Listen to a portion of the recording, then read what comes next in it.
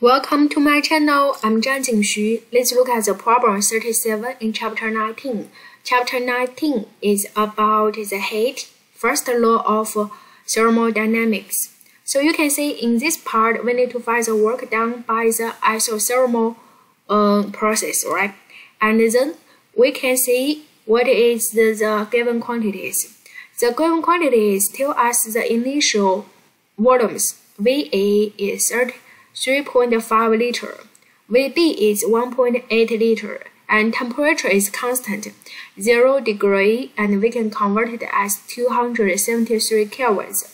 R is constant and also the pressure is just uh, um, constant 1 atm so converted unit in Pascal. So in this one we can see as we learned in our textbook the work done by an ideal gas for the isothermal process is in this equation. Agree?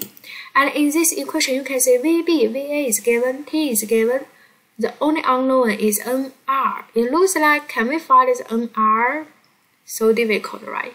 But we can consider the ideal gas law. PV equal to nRT. In this part, we can replace nRT as PV so this part we get it is as PV. So in the initial time, nRT is PA times VA. Agree? Yes. So learn this part VB divided by VA, and then you input the known quantities. Get answer there. Thank you.